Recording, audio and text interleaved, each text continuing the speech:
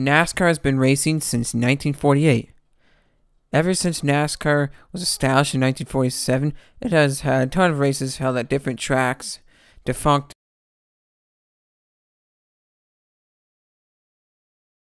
and still around, and only a select number of states have never had a cup race. However, there are lower series races, and the state I want to talk about is my home state of Utah. There wasn't a NASCAR race in Utah until they had a race on August 3rd, 1996. The NASCAR Southwest Series went to Santana Raceway, which used to be in Springville, Utah. Santana Raceway was a one half mile oval. Basically, this was a short track. The series had two races there one on August 3rd, 1996, and another one August 9th, 1997. Sean Monroe won the 1996 race, and Doug McCoy won the 1997 race. Some notable drivers that raced at Santana Raceway include the late Chris Trickle, Matt Crafton, and Kurt Busch. After the race in 1997, the now defunct NASCAR Southwest Series would not return to Santana Raceway. Santana Raceway would close in 1999 due to the popularity of another track I will talk about later, and the NASCAR Southwest Series would fold after the 2006 season. Then, in 1999, NASCAR had a race again in Utah. This time it was the then called NASCAR Winston West Series, now known as the ARCA Menards West Series. The race was at Rocky Mountain Raceways in West Valley City, Utah, a less than a half mile paved track. The first race there was in 1999 and was won by Butch Gilliland, the father of David Gilliland and grandfather of Todd Gilliland. There would be races at the track from 1999 to 2004. Bobby Dotter, Sammy Potashnick, Austin Cameron, and Scott Lynch would also win there. Rocky Mountain Raceways would not be on the schedule for the NASCAR West Series in 2005 and would not be part of the schedule for the series after that. Rocky Mountain Raceways would close after the 2018 season, so commercial development could be built there. However, the track is now occupied by what seems like warehouses or something. What a shame.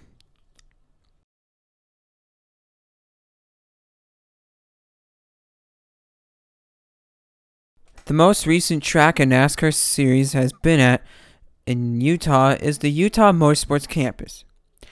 The track was originally conceived as a novelty track from Larry H. Miller. You see, about like 2003, 2004, that time frame, Larry H. Miller was the owner of the Utah Jazz, the MLB minor league team, the Salt Lake Bees. Eventually, the track became a $100 million plus project, and the track would be completed in 2006 with the go kart track there being opened in September of 2005. The track has a big road course and is one of the biggest tracks, or facilities for that matter, in the U.S. Also, the track is located in Grantsville, which is 33 miles away from Salt Lake City.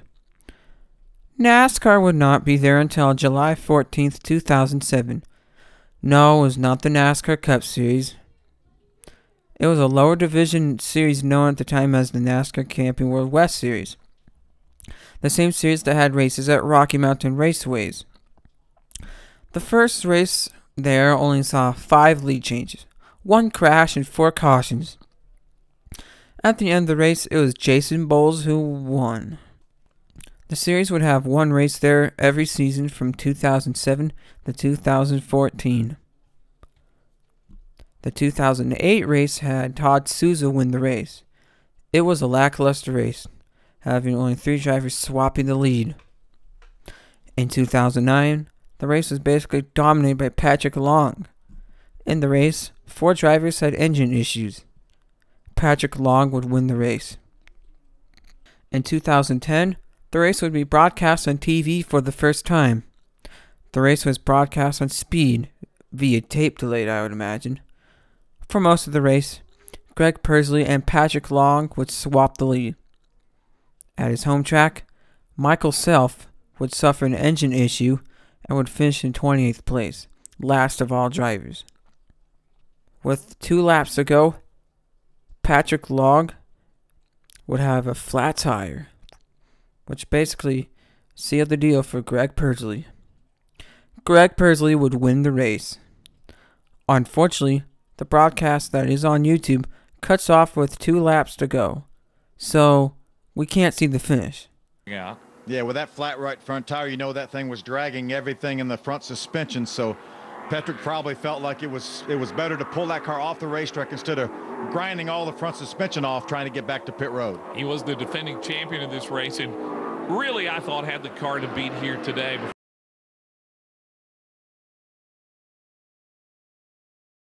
There is always the chance that someone out there has a broadcast of the race in its entirety and would post on YouTube, but I don't see that happening.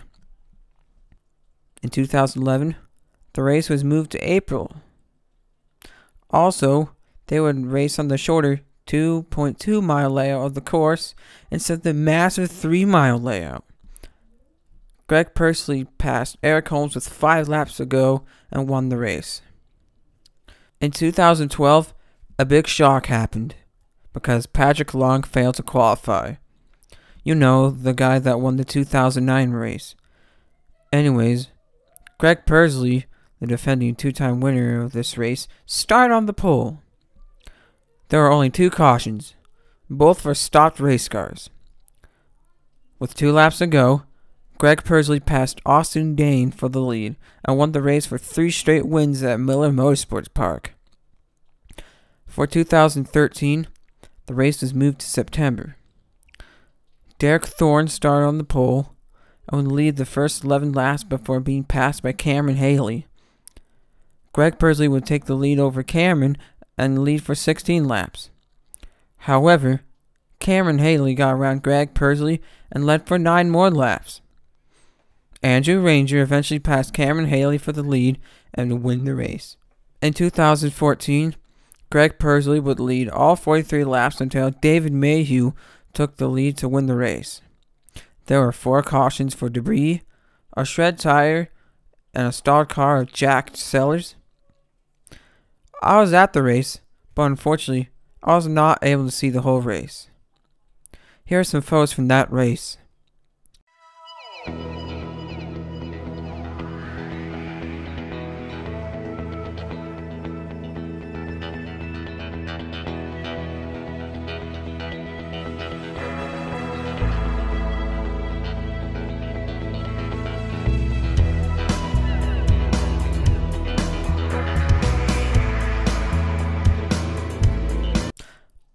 Unfortunately, they did not have a race at the track for 2015. By this point, Larry H. Miller had died because of diabetes back in 2009. In 2015, the Larry H. Miller group of companies decided to not renew its lease on the track. So the last day of operations would be on October 31st, 2015. On July 17th, 2015, it was reported that several companies were interested in buying the Utah Motorsports campus, at, also at the time it was known as the Miller Motorsports Park, and keep the track running. On October 13th of that year, it was announced that they approved the sale of the track to Milltime Investment, which is a subsidiary of Chinese car company Geely, or Geely, however that is pronounced.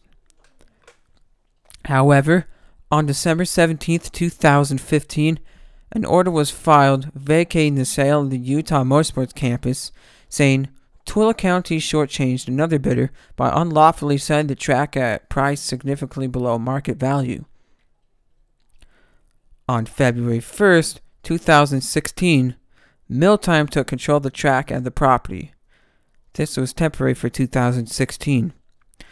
The sale would eventually be completed in November of 2018. The series would not come back until September 2016 for a doubleheader. The first race started with Ryan Partridge on the pole. On lap 2 of the race, the caution was displayed for the number 50 Chris Eggleston being stalled in turn 9. Ryan Partridge continued to lead.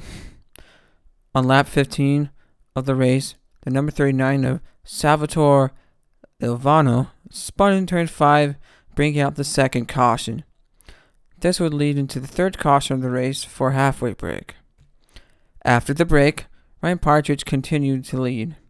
He would lose the lead on lap 22 to Todd Gilliland. Todd Gilliland would lead until lap 26 before Cup Series driver Noah Gragson would take the lead. He would go on to win the race on lap 36. The second race saw Ryan Partridge start on the pole. He would lead the first five laps of the race. Todd Gilliland would take the lead on lap 6. The first caution would come on lap 8 for the stalled car of the number 86 of Tim Spurgeon. The race restarted on lap 11. But on lap 15, the race had second caution of the day due to the number 14 car of Stingray Robb being stalled. The race restarted on lap 17. Riley Herbst took the lead on lap 18. A caution was displayed for the halfway break on lap 19. The race gets underway on lap 20 for only one lap before a caution is displayed for the number 20 car driven by Cole Moore. The race gets restarted on lap 23. Riley Herbst eventually loses the lead on lap 31 to Todd Gilliland. Todd will lead the race until the final turns on the last lap.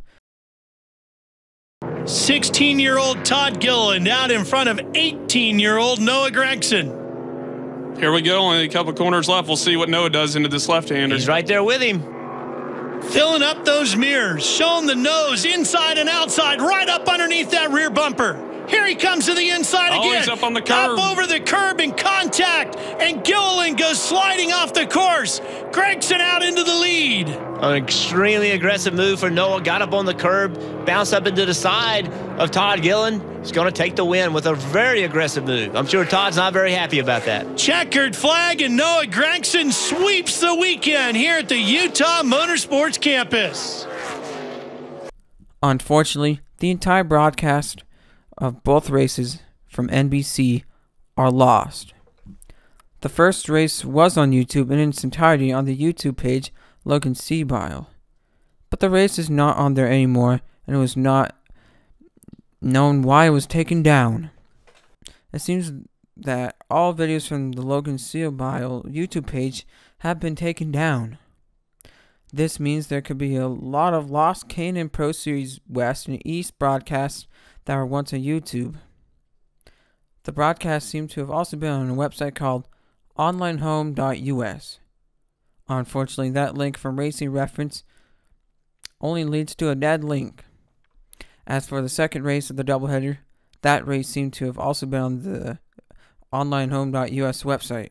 Of course, the link from the Racing Reference website only leads to a dead link.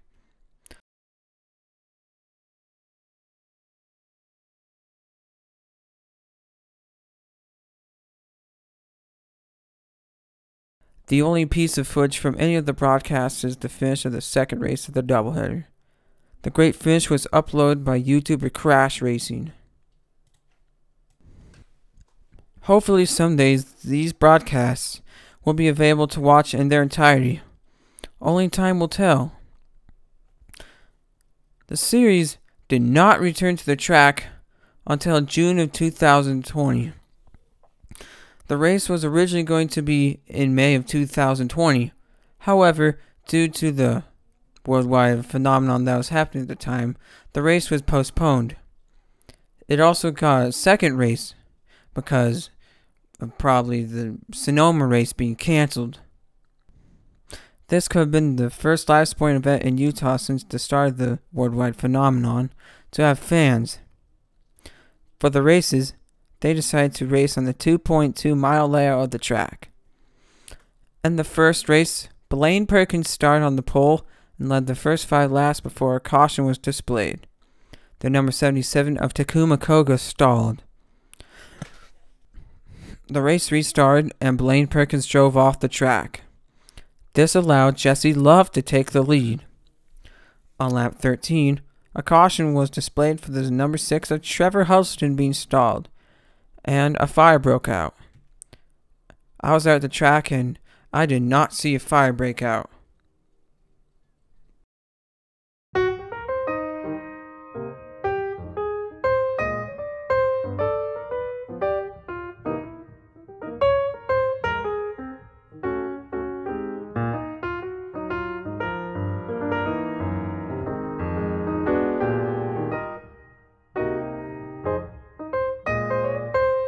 Race restarted on lap 30 and Jesse Love led for two more laps to win his first race in the newly renamed ARCA Menards West Series.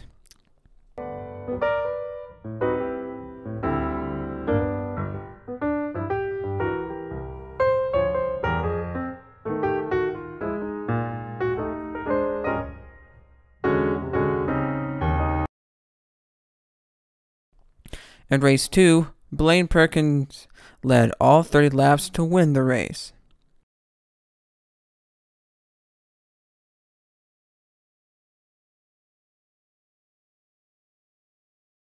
The number 27 of Bobby Hillis Jr.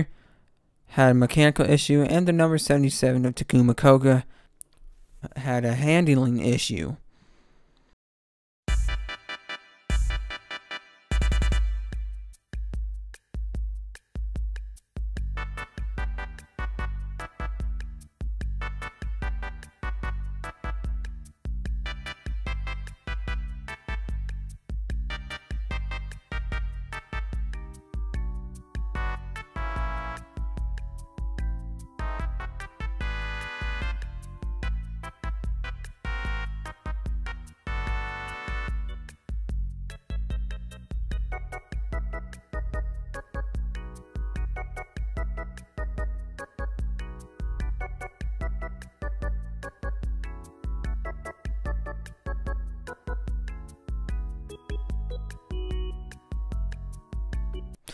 Unfortunately for 2021, the ARCA Menards West Series would not go back to the Utah Motorsports campus. They have not been back since. In fact, the Utah Motorsports campus is a shell of its former self. As of right now, there are no actual racing events that people could go out and see. You have to be part of some event or whatever to be there in person and see stuff. It's not like actual motorsports series, which is sad. Hopefully, the Utah Motorsports campus can have real racing there in the future. Because, like I said, it was a one of a kind facility in the U.S., and one of the biggest racing facilities in the U.S. for that matter. If you like this content, then like, comment, and subscribe. I have fun NASCAR videos each week. Thanks for watching. Have a great rest of your day.